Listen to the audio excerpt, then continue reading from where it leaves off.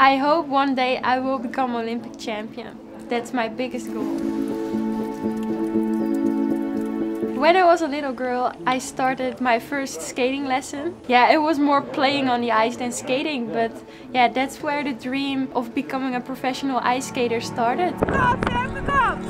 I always had a hard time dealing with my nerves. So the first years I never won something. The more I skated competition, I controlled my nerves better. And that's when I started to win some games. It's really special that I can skate with my idols from when I was young. I still don't believe that I'm an idol already, but it's really cool that I can win now some races. I hope one day I will become Olympic champion. That's my biggest goal.